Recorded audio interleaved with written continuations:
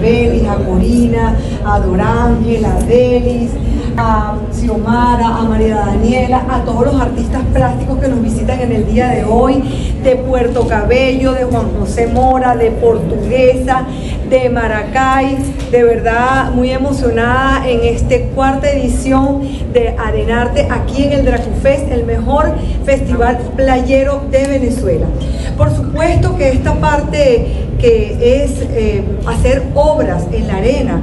Ha sido una iniciativa que venimos, eh, por supuesto, haciéndola desde el año 2008, desde la alcaldía, y María Daniela y Juan Carlos nos han acompañado hasta la presente fecha, y ha sido muy bonito porque solamente aquí, aquí en Puerto Cabello, que hacemos este tipo de arte en la arena. Por supuesto pienso que es como arraigar la cultura, también eh, aquí en Puerto Cabello. Los artistas han manifestado su parte religiosa, dado que hoy es jueves santo y creo que la mayoría de las obras fue basada en eso, en, la última cena, en la muerte de Jesucristo, la resurrección.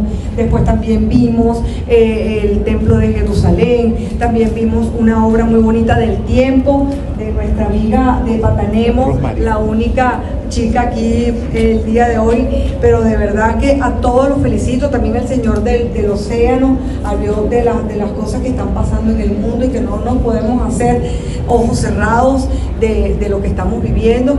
Y bueno, agradecerte eh, también a ti, Germán, eh, por ese empeño, esa colaboración, esa constancia y esa disciplina para que esto se cumpla aquí en nuestro estado. Por supuesto, eh, gracias a nuestro gobernador a nuestro alcalde, a nuestro presidente, que siempre fomenta cultura y arte por todas partes y lo vemos reflejado aquí en el día de hoy en Puerto Cabello, la ciudad que está de moda. Carabobo está de moda y Venezuela viéndola en el futuro.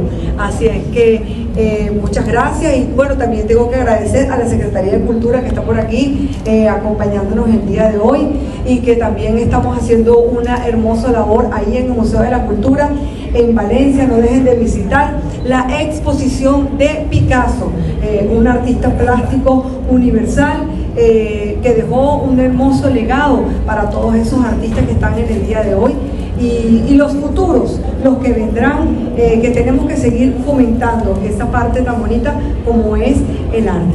Así que muchas gracias, hermano. Muy buenas tardes a todos los artistas Gracias por, estar aquí presentes el día de hoy. Y bueno, y seguimos avanzando a paso de vencedores. Muchísimas gracias.